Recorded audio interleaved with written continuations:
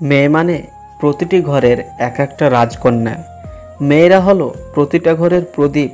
যে ঘরে মেয়ে নেই, সেই ঘর সুন্দরও নেই, সেই ঘরে আলোও নেই।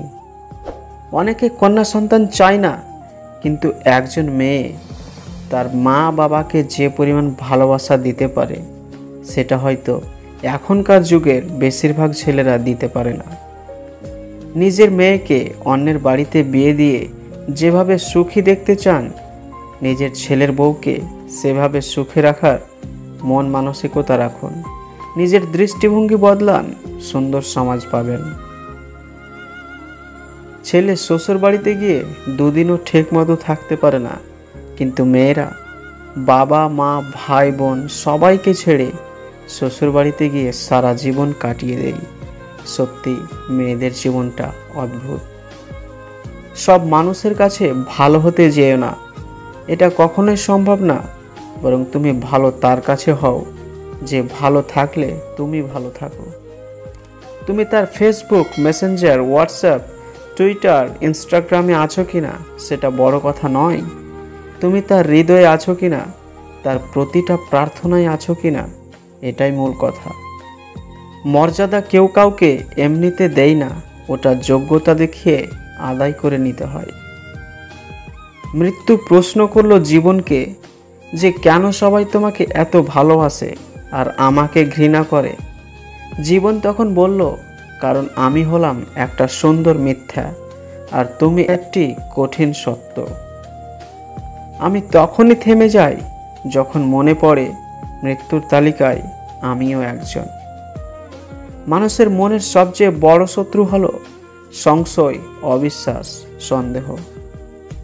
মানুষ তো সবার ঘরে জন্মায়, কিন্তু মনসত্ব সবার ঘরে জন্মায় না। যখন কোনো কিছুকে প্রচণ্ডভাবে চাইবেন, আঁকড়ে ধরে বাঁচতে চাইবেন, তখনই সেই জিনিসটা এক অদৃশ্য টানে আপনার কাছ থেকে দূরে চলে যাবে। আপনি ধরতেও পারবেন না, ছুঁতেও পারবেন না। মায়ের বকার মাঝে অন্যরকম একটা ভালোবাসা থাকে, যা অন্য কারোর বকার মধ্যে খুঁজে পায় না। কেউ দেখে না তুমি তাদের জন্য কি করেছ। তারা শুধু দেখে তুমি তাদের জন্য কি করনি।